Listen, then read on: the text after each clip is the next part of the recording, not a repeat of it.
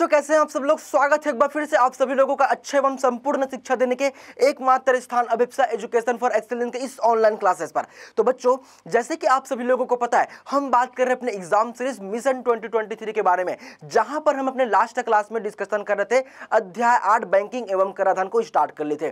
Part number one को हमने देख लिया था। पार्ट नंबर वन में हमने क्या क्या बात की हुए थे? हमने बेसिक कॉन्सेप्ट को समझा था और साथ ही साथ हमने एक नंबर वाले प्रश्नों की भी तैयारी कर ली है।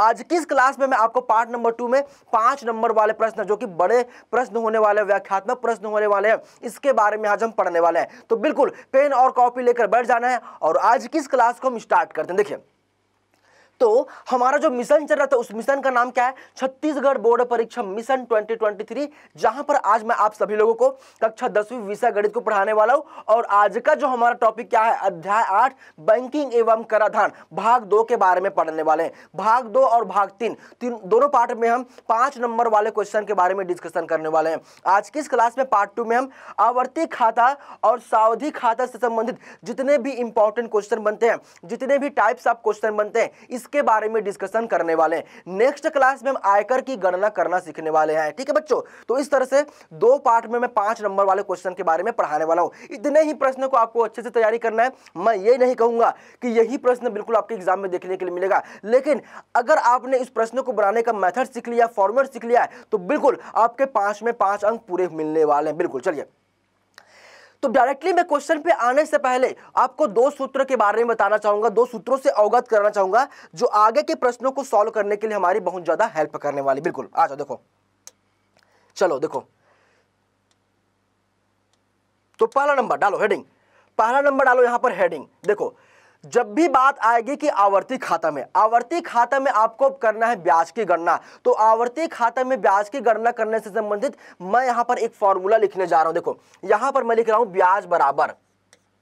ये किसके लिए है? आवर्ती जमा खाता में ब्याज की गणना करने के लिए हमारा ये सूत्र होने वाला ब्याज बराबर। ये होता है पी इंटू आर डिवाइड में आता है ये हंड्रेड फिर इंटू वन बाई ये होता है ट्वेल्व फिर बड़ा सा हम लगाते हैं ब्रैकेट, फिर अंदर में आता है एन फिर आता है एन प्लस वन और डिवाइड में आता है हमारा टू ब्रेकेट को कर दो कोलोस ठीक है सर बंद कर दिया तो आवर्ती खाता में ब्याज की गणना कर, करने से संबंधित ये फॉर्मूला आपको याद रखना है ब्याज बराबर P into R divided by hundred into one by twelve फिर ब्रेकेट में क्या आता है? N N plus one upon में टू अब सर यहाँ पर ये पी क्या है? आर क्या है? और ये एन क्या है? बिल्कुल। अब इस क्वेश्चन का हम जवाब देते हैं बिल्कुल। आ जाओ देखो। अब यहाँ पर ये पी क्या है? तो पी बराबर पी क्या है यहाँ पर? आपका है मूलधन। क्या है बच्चों? मूलधन है, जिसे हम प्रिंसिपल भी बोलते हैं। तो पी क्या है यहाँ पर? मूलधन है। अब यहाँ पर ये आर क्या है? आर क्या है? तो आर है आपका रेट ऑफ़ इंटरेस्ट यानी कि दर है। क्या है? आपका दर है। अब यहाँ पर ये एन क्या है? तो एन क्या है आपका? मासिक किस्तों की संख्या है। क्या है? मासिक किस्तों की संख्या। क्योंकि हम आवर्ती खाता में क्या करते हैं? हर महीने जमा करते हैं। तो ये क्या हो जाएगा? मासिक किस्तों की संख्या, सर, बिल्कुल सही जवाब है। मासिक किस्तों की संख्या। हमने तीनों चीज़ों को समझ लिया पी को समझ लिया आर को समझ लिया और एन को भी समझ लिया, ठीक है? चलिए, ये हो गया हमारा ब्याज किसके लिए? आवर्ती खाता से संबंधित। जब हम ब्याज की गणना करेंगे तो इसी सूत्र का उपयोग करने वाले बिल्कुल, सर। दूसरा नंबर अब हेडिंग डालो। दूसरा नंबर लिखो यहाँ पर। देखो, मैं लिखने जा रहा हूँ। दूसरा नंबर, देखो।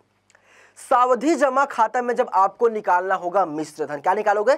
मिश्र धन निकालोगे। तो मिश्र धन बराबर कैसे निकलता देखो, ये किसके लिए है? सावधि जमा खाता के लिए। तो मिश्र धन बराबर। ये निकलता है पी फिर लगाते हैं, बड़ा सा ब्रैकेट, फिर होता है ये one plus R divided by ये होता है हंड्रेड और पावर में जाता है एन क्या जाता है, सर? एन जाता है। तो सावधि जमा खाता से संबंधित जब आपको मिश्र धन निकालना रहेगा तो हम इस फॉर्मूले का यूज़ करने वाले हैं। सर, यहाँ पर ये पी क्या है एन क्या है और ये आर क्या है? बिल्कुल। अब देखो, यहाँ यहाँ का, यहाँ लिख देते हैं, यहाँ पी बराबर पी क्या है? हमने यहाँ पर लिखा हुआ पी बराबर क्या है? मूलधन है। तो यहाँ पर भी क्या होगा? पी बराबर ये मूलधन ही होने वाला है प्रिंसिपल होने वाला है। आर क्या है?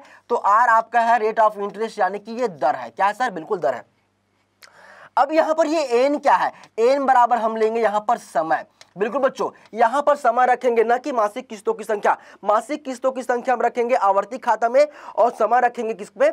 हम जब सावधि जमा खाता में जब मिश्र धन निकाल रहे होंगे तब। तो ये दो फॉर्मूला बिल्कुल आपके कॉपी पर लिखा गया होगा ये मानकर चलूँगा। अब इसी से संबंधित हम करने वाले हैं प्रश्नों को सॉल्व चलिए अब हम बढ़ते हैं अपने क्वेश्चन की ओर और, और ये रहा आपका अगला क्वेश्चन प्यारा सा दिखने वाला। देखिए आ जाओ, बिल्कुल, उड़ा देंगे इस क्वेश्चन को। कुछ दम नहीं इसमें।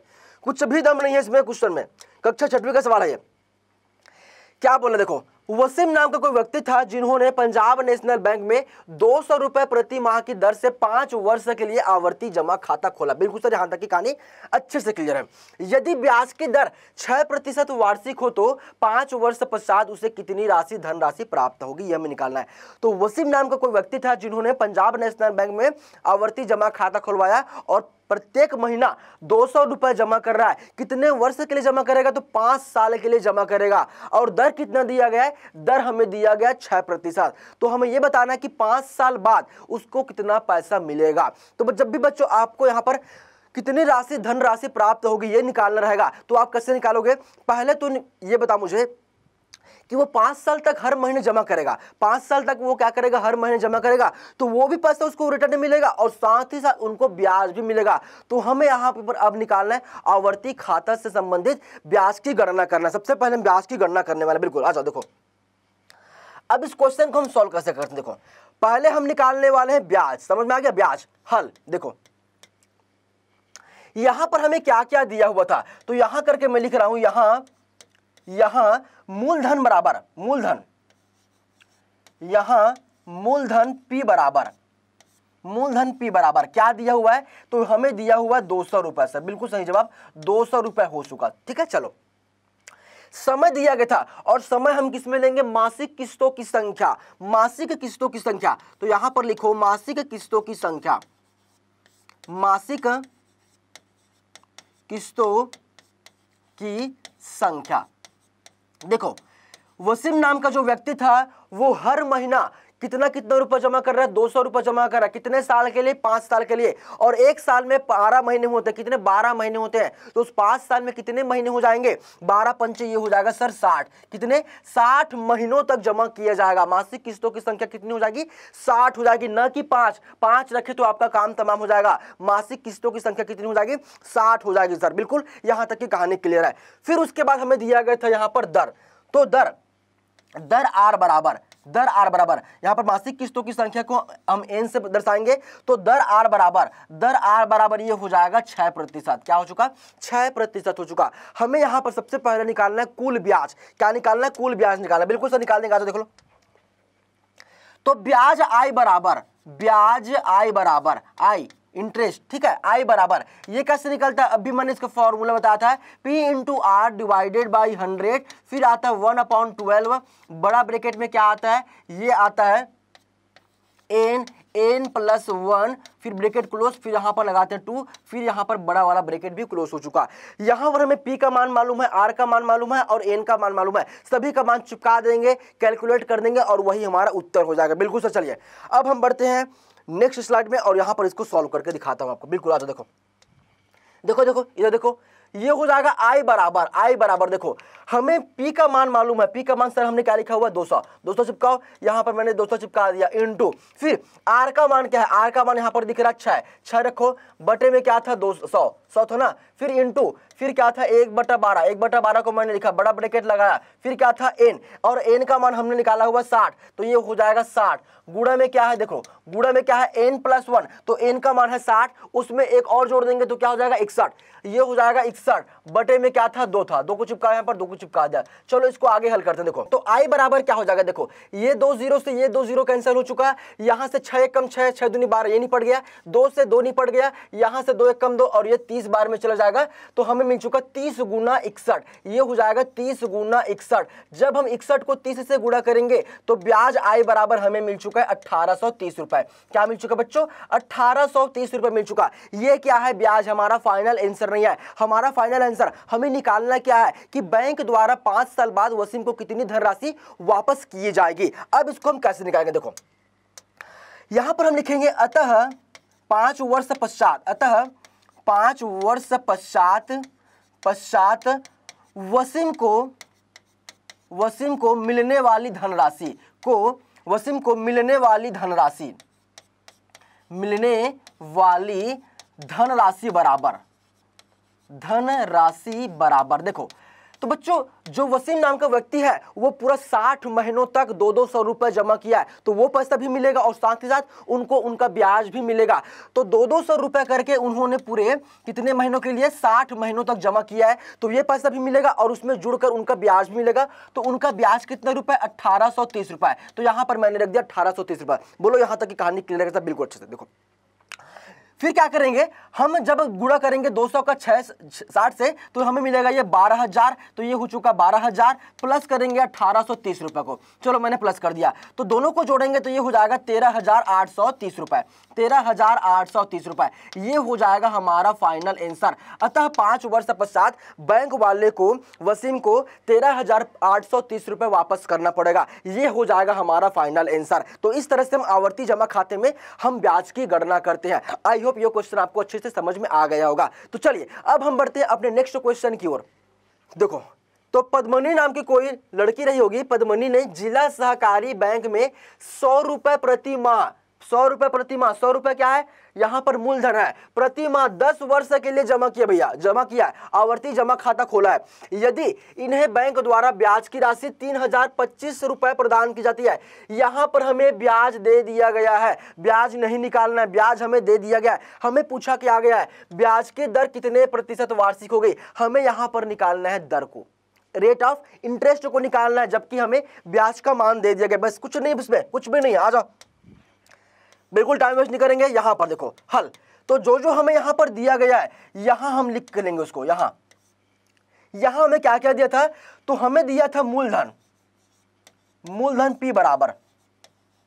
मूलधन पी बराबर। चलो बोलो, क्या दिया है? सौ रुपए प्रति माह जमा किया जाता है तो सौ रुपए हो चुका हमारा मूलधन, ठीक है? हमें दिया गया दस वर्ष अब यहाँ पर मासिक किस्तों की संख्या में निकालना, दस कोई नहीं बोलेगा। मासिक किस्तों की संख्या कितनी हो जाएगी? भाई, एक साल में बारह महीने तो दस साल में कितने? दस साल में एक सौ बीस महीने हो जाएँगे, ठीक है? तो मासिक किस्तों की संख्या यहाँ पर लिखेंगे हम। मासिक किस्तों की संख्या। मासिक किस्तों की संख्या एन बराबर एन बराबर क्या हो जाएगा? दस का हम गुड़ा करेंगे, किससे का? बारह से सात करेंगे तो हमें मिल जाएगा 120 क्या मिल चुका? 120 मिल चुका। हमें यहाँ पर दिया गया था ब्याज। तो ब्याज बराबर, देखो। ब्याज, जिसे हम आई से प्रदर्शित करते आई बराबर, हमें दिया गया था तीन हज़ार पच्चीस रुपए। तीन हज़ार पच्चीस रुपए दिया गया था। अब देखो बच्चों, हमने जो इससे पहले वाले क्वेश्चन में फॉर्मूला लगाया था ना, कुल ब्याज वाला, उसी फॉर्मूले को मैं फिर से लगाने वाला देखो, अतः ब्याज बराबर, अतः ब्याज बराबर, ब्याज आई बराबर। देखो, हमारा फॉर्मूला क्या होता है? P into R divided by ये होता है हंड्रेड फिर आता है इंटू वन अपॉन ट्वेल्व फिर आता है बड़ा सा ब्रेकेट फिर लिखते हैं एन एन प्लस वन फिर आता है नीचे में टू हमें यहाँ पर निकालना था दर। दर का मान निकालना था तो यहाँ पर मैं लिख देता हूँ दर आर बराबर क्वेश्चन मार्क दर हमें निकालना था। बिल्कुल यहाँ तक की कहानी अच्छे से क्लियर है बिल्कुल क्लियर है। देखो आई का मान मालूम है पी का मान मालूम है एन का मान मालूम है आर का मान हम इजिली निकालेंगे। देखो, कैसे निकालेंगे? आ जाओ, बिल्कुल आ जाओ, देखो। तो आई बराबर, हमें आई का मान मालूम है, यानी कि ब्याज का मान मालूम है तीन हज़ार पच्चीस। चिपकाओ चिपकाओ। ये हो जाएगा तीन हज़ार पच्चीस बराबर। तीन हज़ार पच्चीस बराबर, देखो। पी का मान पी का मान क्या है? सौ। सौ चिपकाओ आर का मान निकालना तो आर हो जाएगा। बटे में क्या आ जाएगा? सौ। फिर गुणा में था एक बटा बारह। एक बटा बारह लिखो यहाँ पर, फिर ब्रेकेट में क्या आ जाएगा? एन एन एन मतलब कि मासिक किस्तों की संख्या। मासिक किस्तों की संख्या क्या? 120 तो यहाँ पर ये हो जाएगा 120 गुड़ा फिर क्या है? N plus one. एन का मान क्या? है 120 और 120 धन एक, किसको नहीं आता? सबको आता है। 120 धन एक, ये हो जाएगा 121 बटे में आ जाएगा ये दो। चलो, आगे इसको सॉल्व करते देखो। हाँ देखो, ये सौ से ये सौ निपट गया। सौ से सौ निपट गया, देखो। बारह कम बारह ये निपट जाएगा दस। फिर ये निपट जाएगा पाँच बार में, क्या बच चुका है यहाँ पर? तो हमें मिलेगा यहाँ पर। तो ये हो जाएगा तीन हज़ार पच्चीस, तीन हज़ार पच्चीस बराबर। आर बचा हुआ है और इसके साथ गुड़ा में क्या क्या बचा हुआ है? पाँच बचा हुआ है और ये एक सौ इक्कीस बचा हुआ है। हमें निकालना है आर का मान। तो आर को मैंने यहीं पर लिखा, आर के साथ जो भी गुड़ा में है, वो तीन हज़ार पच्चीस के बटे में आ जाएगा, भाग में आ जाएगा। भाग में लाओ इसको तो ये हो जाएगा तीन गुना एक सौ इक्कीस। बिल्कुल यहाँ तक की कहानी क्लियर है। ये तीन क्यों होगा? ये पाँच होगा ना? ये पाँच होगा। भाई, यहाँ पर देख लो, ये पाँच है तो ये पाँच हो जाएगा, ठीक है? चलो, पाँच लिखो यहाँ पे। चलो, आ जाओ, पाँच गुणा। पाँच से इसको काट सकते हैं, पाँच एक कम पाँच, ये हो जाएगा पाँच छक्के तीस, ठीक है? फिर दो संख्या को लेंगे तो यहाँ पर हमें लगाना पड़ेगा ज़ीरो। पाँच पंच ये हो जाएगा पच्चीस, क्या हो चुका? पच्चीस हो चुका।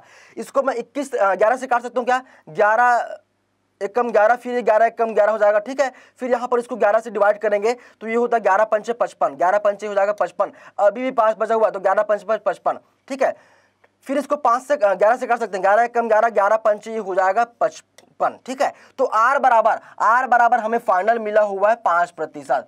देखो बच्चों, यहाँ पर आपको कटाने नहीं आएगा तो बिल्कुल आपको क्या करना है, भाग देकर देख लेना है। मुझे कटाने आता है या फिर आपको भी कटाना सीखना पड़ेगा। कटाने नहीं आ रहा है तो आपको भाग देना पड़ेगा। सबसे पहले आप तीन हज़ार पच्चीस को पाँच से भाग दे दोगे, उसके बाद जो भी मिलेगा, उसको आप एक सौ इक्कीस को भाग दे दोगे तो आपको आर बराबर मिल जाएगा पाँच प्रतिशत। आर बराबर क्या मिल जाएगा?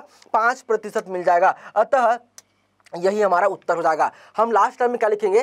तो ब्याज की दर, अतः ब्याज की दर। अतः ब्याज की दर दर आर बराबर पाँच प्रतिशत वार्षिक है। ये है हमारा फाइनल आंसर जो आपको पाँच में पाँच अंक दिलाने वाले मोस्ट इंपॉर्टेंट क्वेश्चन है। तो हमने ब्याज की गणना करना भी सीख लिया और हमने दर निकालना भी सीख लिया। बहुत ही इंपॉर्टेंट क्वेश्चन था। फाइव स्टार लगा के इसको रखना। चलिए। अब हम बढ़ना चाहेंगे अपने नेक्स्ट क्वेश्चन की और ये रहा हमारा अगला क्वेश्चन आपके स्क्रीन पर। देख लीजिए। आ जाओ, बिल्कुल। चलो। तो राम नाम का कोई व्यक्ति था राम ने बैंक में सावधि जमा। अब बोल दिया गया सावधि जमा। ध्यान रखना, अभी तक हमने दो जो प्रश्न किए थे, वो आवर्ती जमा खाते से संबंधित था। अब जो प्रश्न कर रहे हैं, वो सावधि जमा से संबंधित है फिक्स्ड डिपॉजिट से संबंधित है, ठीक है? तो राम नाम का कोई व्यक्ति था जिन्होंने सावधि जमा के रूप में चालीस हज़ार रुपए एक साथ एक वर्ष के लिए दस प्रतिशत वार्षिक ब्याज की दर से जमा किया है। चालीस हज़ार रुपए पूरे एक साल के लिए जमा कर दिया गया राम ने, ठीक है? फिर हमें पूछा गया है कि यदि ब्याज की जो गणना है वो छह माही संयोजित की जाती है।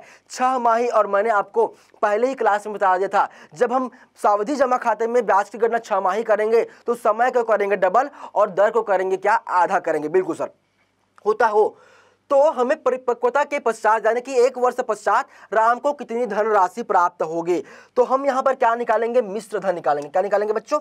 मिश्र धन। बिल्कुल टाइम वेस्ट निकालेंगे इधर आओ। ये हो जाएगा हल। देखो। यहाँ पर हमें क्या क्या दिया हुआ देखो तो दिया है दिया है करके हम यहाँ पर लिख लेते हैं, दिया है। दिया है, चलो बोलो, क्या दिया हुआ है? यहाँ पर जो चालीस हज़ार है, वो क्या है हमारा? मूलधन है। क्या है बच्चों? मूलधन है। तो मूलधन पी बराबर चालीस हज़ार रुपए चालीस हज़ार रुपए चलो, यहाँ पर मैंने चिपकाया चालीस हज़ार रुपए, सर, बिल्कुल सर। फिर दिया गया है समय। क्या दिया गया समय। तो समय एन बराबर यहाँ पर मासिक किस्तों की संख्या नहीं लिखना मैं बार बार बोलता हूँ। आवर्ती जमा खाते में ही आपको मासिक किस्तों की जमा करना, क्योंकि हर महीने जमा करते हैं। यहाँ पर एक राशि को, एक मुस्त राशि को एक निश्चित समय के लिए जमा किया जाता है। तो यहाँ पर समय एन बराबर क्या हो जाएगा? एक वर्ष। क्या हो चुका? ये हो चुका सर, एक वर्ष। बिल्कुल सर। फिर यहाँ पर दर बोला गया था, दस प्रतिशत चिपका चिपका देख रहा क्या? देख क्या रहे हो? ये हो जाएगा दर। दर आर बराबर। क्या हो चुका? ये दस प्रतिशत। बिल्कुल सर। अब यहाँ पर मोस्ट इंपॉर्टेंट लाइन लिख दी गई है क्या? कि यदि ब्याज की जो गणना है वो छह माही संयोजित की जाती है, यानी कि हर छह महीने में ब्याज की गणना की जाती है तो इस केस में आप करते हो क्या हो? आप समय को कर देते हो डबल तो ये हो जाएगा दो छह माह दो छह माह आपको लिखना है और आपको कर देना है दर को आधा, दर को आधा करेंगे तो इसको मैं दो से भाग दूँगा तो हमें मिल जाएगा पाँच प्रतिशत छह माही। पाँच प्रतिशत ये हो जाएगा छह माही सर बिल्कुल यहाँ तक की कहानी क्लियर है क्या? बिल्कुल सर, अच्छे से क्लियर है। अब हम निकालते हैं यहाँ पर मिश्र धन। क्या निकालते हैं? मिश्र धन। अतः मिश्र धन बराबर। अतः मिश्र धन। मिश्र धन बराबर। हमारा फॉर्मूला क्या होता है? ये होता है पी फिर बड़ा सा bracket one plus R divided by ये हो जाएगा हंड्रेड और यहाँ पर हम लगाते हैं क्या? एन ठीक है, चलो। पी का मान मालूम है आर का मान मालूम है, और एन का मालूम है। देख क्या चिपकाओ चिपकाओ आ जाओ, देखो। हाँ देखो नेक्स्ट क्वेश्चन में कहाँ चलेगा? अभी तो आया ही नहीं है। ये क्वेश्चन खत्म नहीं हो तो। चलो, आ जाओ, बिल्कुल आज देखो। तो पी का मान तो पी का मान क्या है? देखो तो P का मान यहाँ पर हमें दिख रहा है चालीस हज़ार। रखो चालीस हज़ार, ये हो जाएगा चालीस हज़ार, फिर यहाँ पर बड़ा सा ब्रेकेट, फिर one upon, sorry, one plus था। आर आर का मान क्या देखो, अब यहाँ पर आर का मान क्या रखेंगे? तो आर का मान यहाँ पर गलती से भी आपको दस प्रतिशत नहीं रखना है। आर का मान जो रखना है, वो छह प्रतिशत रखना है। तो ये हो जाएगा, छह क्यों बोल रहा पाँच होगा ना? क्योंकि दस को हम दो से भाग देंगे तो पाँच मिलेगा। तो ये हो जाएगा पाँच बटा, फिर क्या था? बटे में सौ था ना? ये हो जाएगा सौ। फिर ऊपर में क्या दिया हुआ था? घात में। घात में एन है। तो यहाँ पर समय एन बराबर एक वर्ष कोई नहीं बोलेगा। हम छह माही गणना कर रहे हैं। तो एक साल में कितने छह माही? दो। तो यहाँ पर एन की जगह आपको चिपकाना दो। चिपका दो। बिल्कुल, सर। तो चालीस हज़ार। देखो, आगे इसको मैं हल करने जा रहा हूँ। चालीस हज़ार। तो ये हो जाएगा वन प्लस। देखो, यहाँ पर पाँच से कम पाँच और ये निपट जाएगा बीस बार में। देखो तो ये हो जाएगा एक बटा बीस। क्या हो चुका? एक बटा बीस हो चुका, सर। बिल्कुल। घात में लग जाएगा दो। तो बराबर। देखो, ये हो जाएगा चालीस हज़ार। ठीक है, चलो। 20 का गुणा करेंगे एक से तो 20 से कम 20 और इसमें एक जोड़ेंगे तो ये हो जाएगा 21 बटा बीस। इक्कीस बटा बीस हो चुका, घात में लगाएँगे दो सर, बिल्कुल लगा दिए। देखो, अब ये क्या हो जाएगा? तो चालीस हज़ार को अभी तक मैंने कोई भी चेंज नहीं किया है। इंटू देखो, घात में दो है मतलब कि 21 बटा दो का 21 बटा बीस का हम दो बार करेंगे गुड़ा 21 बटा बीस का कर दिए हमने दो बार गुड़ा बोलो, यहाँ तक की कहानी क्लियर है, कैसे? बिल्कुल क्लियर है। एक ज़ीरो से एक ज़ीरो निपटा। फिर एक ज़ीरो से एक ज़ीरो निपटाओ फिर है, देखो, फिर यहाँ पर दो एक कम दो और ये जाएगा 200 बार में। कितने बार में? 200 बार में। दो एक कम दो और ये जाएगा 100 बार में। 200 को दो से भाग देंगे तो सौ ही ना मिलेगा? तो बराबर मिश्र था बराबर। देखो, यहाँ पर हमें क्या मिला? सौ गुना। 21 गुना 21 करेंगे तो हमें मिलता चार सौ इकचालीस। क्या मिल चुका? चार सौ इकचालीस मिल चुका। तो चार सौ इकचालीस का गुना करेंगे सौ से तो ये मिल जाएगा चौवालीस हज़ार एक सौ हमें मिल जाएगा। चौवालीस हज़ार एक सौ रुपए हमें मिल जाएगा। ये है हमारा मिश्र धन का मान। क्या निकालना बच्चों हमें मिश्र धन निकालना था, हमने निकाल लिया। देखो, अब हमारा ये फाइनल आंसर हो चुका। चौवालीस हज़ार एक सौ रुपए। क्या है हमारा? चवालीस हज़ार एक सौ रुपए हमारा फाइनल आंसर हो जाएगा। अब लिखेंगे कैसे? देखो, यहाँ पर पूछा गया था तो परिपक्वता के पश्चात राम को कितनी धनराशि प्राप्त हो गई? तो जैसा पूछा है, उसी के अकॉर्डिंग हम अपने आंसर को लिखेंगे, देखो। तो यहाँ पर मैं लिखूँगा, अतः परिपक्वता के पश्चात अतः परिपक्वता के पश्चात के पश्चात कौन था? राम था ना? राम को राम को चौवालीस हज़ार एक सौ रुपए राशि प्राप्त होगी। राशि प्राप्त होगी। ये हो जाएगा हमारा फाइनल आंसर जो आपको पाँच में पाँच अंक दिलाने वाली है। और ये क्वेश्चन पूछा गया था Chhattisgarh 2018 set A B C तीनों सेट में पूछा गया था पाँच नंबर के लिए। कितने पाँच नंबर के लिए? बिल्कुल, ये स्टेप अगर आपने फॉलो किया है, पूरा कैलकुलेशन करके दिखाया है तो आपको पाँच में पाँच अंक मिलने से कोई भी नहीं रोक सकता है। पाँच नंबर आपको दिलाने वाली है। तो हमने सावधि जमा खाते से संबंधित एक प्रश्न को कर लिया नेक्स्ट क्वेश्चन की ओर बढ़ते हैं और अगला जो हमारा क्वेश्चन दिया गया इसको चले पढ़ते प्रश्न क्रमांक चार। देखो। तो किशन इलाहाबाद बैंक में, किशन नाम का कोई व्यक्ति था जिन्होंने इलाहाबाद बैंक में सावधि जमा के रूप में क्या? सावधि जमा के रूप में एक मुश्त बीस हज़ार रुपए एक वर्ष के लिए सोलह प्रतिशत वार्षिक ब्याज की दर से जमा करता है सर। बिल्कुल यहाँ तक की कहानी क्लियर है। फिर आगे बोला गया है, यदि ब्याज तिमाही संयोजित होता है तो परिपक्वता के पश्चात किसान को कितनी धन राशि प्राप्त होगी? तो अभी जो हमने क्वेश्चन सॉल्व किया था क्वेश्चन नंबर थर्ड इसी के तरह ये भी सॉल्व होने वाला है। बिल्कुल एज इट इज़ इसको भी सॉल्व करने वाला आ जाओ, बिल्कुल टाइम वेस्ट नहीं करेंगे, देखो। यहाँ पर सबसे पहले मैंने लिखा हल, देखो। अब जो जो हमें दिया गया उसको हम जमा कर लिखना चाहते हैं, देखो। तो यहाँ पर ये यह हो जाएगा, दिया है। चलिए, बताइए क्या क्या हमें दिया है? क्या क्या हमें यहाँ पर दिख रहा है? तो सबसे पहले मुझे दिख रहा है यहाँ पर मूलधन। क्या दिख रहा है, सर? मूलधन दिख रहा है। तो ये हो जाएगा मूलधन। मूलधन पी बराबर। एक मुश्त जमा की गई राशि कितनी है? बीस हज़ार रुपए। तो मूलधन बराबर ये हो चुका बीस हज़ार रुपए, सर। बिल्कुल यहाँ तक की कहानी क्लियर है। फिर हमें क्या दिया होता है? एक वर्ष के लिए, ठीक है? तो यही हमारा समय का मान हो जाएगा। तो समय एन बराबर, समय एन बराबर क्या हो जाएगा ये? एक वर्ष हो चुका। क्या हो चुका? एक वर्ष हो चुका। बिल्कुल सर, यहाँ तक की भी कहानी क्लियर है। फिर हमें दिया गया था दर का मान। तो रेट ऑफ़ इंटरेस्ट दर इज़ इक्वल टू दर आर बराबर हमें दिया गया है सोलह प्रतिशत। इतना काम करते ही आपको दो सेकेंड के लिए रुकना है और सोचना है। क्या सोचना देखो। यहाँ पर हमें एक मोस्ट इंपॉर्टेंट लाइन बोल दी गया था कि यदि ब्याज जो है, वह तिमाही संयोजित होता है। और पहले ही क्लास में मैंने आपको बताया दिया था इसके बारे में। जब भी सावधि जमा खाते में जब ब्याज की गणना तिमाही करेंगे तो आप क्या करेंगे? समय को करेंगे चार से गुड़ा और दर को आप करेंगे चार से भाग। ऐसा क्यों करते हैं? क्योंकि एक साल में चार तिमाही होते हैं। एक साल में चार तिमाही होते हैं। तो यहाँ पर समय बदल जाएगा। समय को हम चार से गुड़ा करेंगे तो ये हो जाएगा चार तिमाही। एक साल में कितने तिमाही? चार तिमाही हो जाएँगे। अब हम यहाँ पर निकालेंगे किसको? यहाँ पर देखो, यहाँ पर जो लिखा गया था दर, ये था वार्षिक में। हमें निकालना तिमाही। तिमाही कैसे निकालेंगे? अब देखो।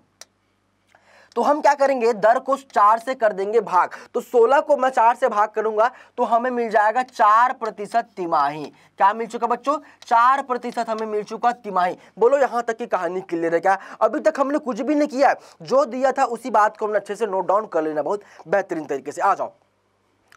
अब हमें यहाँ पर निकालना है क्या? मिश्र धन। बिल्कुल। बिल्कुल, हम यहाँ पर मिश्र धन निकालने वाला है। तो मिश्र धन अब कैसे निकलेगा? देखो तो मिश्र धन बराबर मिश्र धन बराबर देखो तो मिश्र धन बराबर।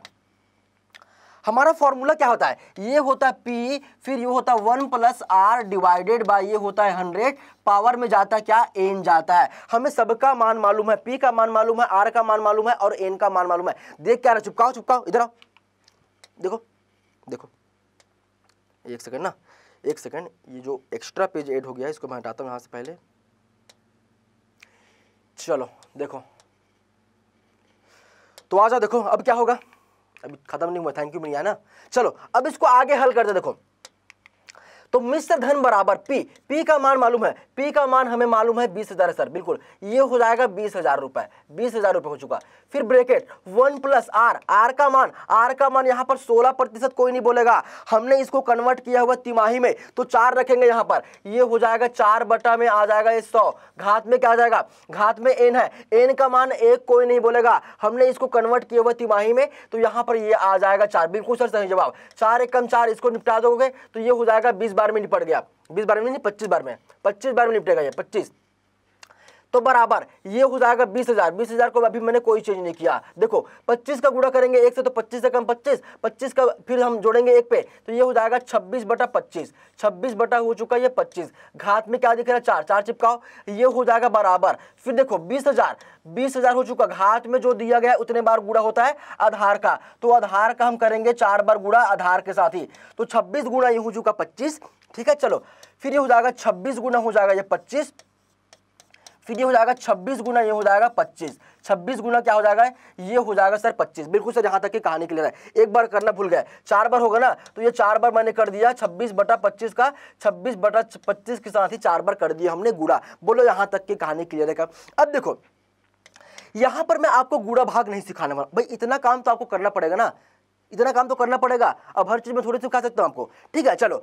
यहाँ पर आप सबसे पहले क्या करोगे? यहाँ पर मैं इसको इसको निपटा दूँ क्या? ये 25 से कम 25 अब यहाँ पर ये 200 बार में जाए 200 को निपटा दूँगा तो ये आठ बार में निपट जाएगा, यानी कि यहाँ पर आ चुका 800 ठीक है, चलो, एक बार और निपटा सकता हूँ। पच्चीस से कम पच्चीस, इसको निपटा दूँगा तो पच्चीस दिया हो जाएगा, ये पचहत्तर भी पाँच बचा हुआ है, पच्चीस दूनी हो जाएगा, पचास, बत्तीस।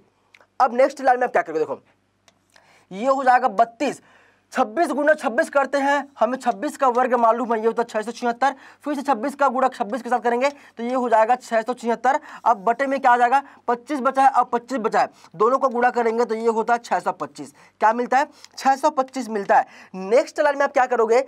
इसका गुड़ा इसके साथ करोगे, यानी कि छह सौ छिहत्तर का गुड़ा छह सौ छिहत्तर के साथ करोगे, फिर उसको बत्तीस का गुड़ा करोगे और इसको आप छह सौ पच्चीस से भाग दोगे। तो मैं इतनी उम्मीद आपको लोगों से करके चलूँगा कि ये इतना गुड़ा भाग आपको आता ही होगा। मैं क्या करूँगा, मैं यहाँ पर डायरेक्ट आंसर लिखने वाला हूँ। हमारा जो आंसर आने वाला यहाँ पर क्या आएगा? तेईस हज़ार तीन सौ संतानवे दशमलव एक सात रुपए आने वाला है। जब इसको आप कैलकुलेट करोगे, अच्छे से सॉल्व करोगे, बच्चों, इसमें टाइम लग सकता है। मैं मानता हूँ, टाइम लगेगा। इसीलिए मैं टाइम के बचाने के लिए आपको इसको होमवर्क दे रहा हूँ। इसको आपको खुद करना पड़ेगा। ऊपर वाले को पहले सॉल्व करोगे, उसको आप छह सौ पच्चीस से भाग दोगे तो हमें क्या मिलेगा? तेईस हज़ार तीन सौ संतानवे दशमलव एक रुपए हमारा ये फाइनल आंसर हो जाएगा। पूछा क्या गया था? परिपक्वता के पश्चात किसान को कितनी धनराशि प्राप्त होगी? तो इतनी धनराशि प्राप्त होने वाली है। अब अब इस बात को हम यहाँ पर लिखना चाहेंगे। बिल्कुल सर, लिख देंगे आ देखो, ये क्या हो जाएगा? अतः परिपक्वता के पश्चात, परिपक्वता के पश्चात, उस व्यक्ति का नाम क्या था? किशन। किशन। किशन को कितना रुपए? तेईस हज़ार तेईस हज़ार तीन सौ संतानवे दशमलव एक सात रुपए की राशि प्राप्त होगी। की राशि प्राप्त होगी। अगर मैं आप लोगों से यहाँ पर पूछ लूँ कि किसान को कितना रुपए ब्याज मिला है तो आप कैसे निकालोगे भैया? एक साथ उन्होंने बीस हज़ार रुपए जमा किया हुआ था। उनको लास्ट में मिला कितना तेईस हज़ार तीन सौ संतानवे दशमलव एक सात रुपए। तो आप क्या करोगे? इसमें आप बीस हज़ार को घटा दोगे तो आपको मिल जाएगा तीन हज़ार तीन सौ संतानवे दशमलव एक सात रुपए। ये हो जाएगा उनका ब्याज। क्या हो जाएगा? ब्याज हो जाएगा। तो अगर इसी क्वेश्चन को आगे बढ़ाकर बोल देगा कि ब्याज बताइए कि उनको कितना रुपए ब्याज प्राप्त हुआ है तो आप ब्याज कैसे निकालोगे? यहाँ पर बीस हज़ार को इससे घटा दोगे, तेईस हज़ार तीन सौ संतानवे से तो आपको मिल जाएगा तीन हज़ार तीन सौ संतानवे दशमलव एक सात रुपए। उनको ब्याज दिया जाएगा बैंक के द्वारा किनको, किसान को। तो इस तरह से बच्चों, आज की इस क्लास को हम यहीं पर खत्म करना चाहेंगे? टोटल मैंने आपको चार क्वेश्चन करा दिए हैं, जो कि पाँच नंबर के लिए पूछे जाने के चांसेस बनते हैं। बस इतने ही प्रश्नों को आपको अच्छे से करना था।